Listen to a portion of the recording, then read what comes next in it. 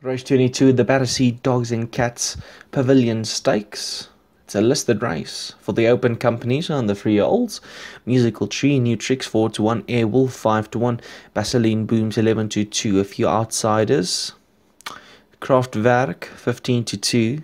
Then you can find Spooky Wood and the Stepsister. 11 runners competing for a listed victory. They sent on their way from that six furlong pole. New Tricks got a cracking jump right up there in the early vanguard. New Tricks, Airwolf on the outside, that's in the black. Kraftwerk further back. Then we got Spooky Wood, the stepsister, Jet Ski Lady, and post time favourite is a long way back for only a four furlong left to go and post time favourite not going to make the box. So it's it's at this stage going to be Vaseline Boomsies in front.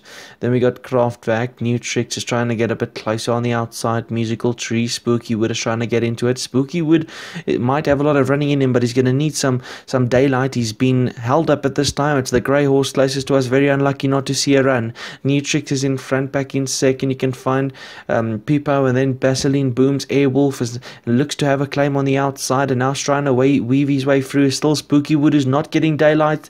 At this stage, it's going to be New Tricks. Airwolf now pounces on that one with the stepsister. And also further back, Vaseline Boom trying to get into the thick of things. And from nowhere also, uh, Spooky Wood is trying to lift through them. It's at this stage, Airwolf. Airwolf is stopping. Not sure what happened there. And it's, it's very close. I couldn't even split them. I have no idea what happened there. Wow. Maybe Thunderspark Horse got up here. Oh, it's showing Airwolf. Wow, what a race. I thought Magnetite might have gotten up here for Thunderspark, but the winner has been declared as number number 11. It's going to be Airwolf for Paul Rhodes, who's been pulled at the closing stages. Magnetite back in second with Kraftwerk back in third.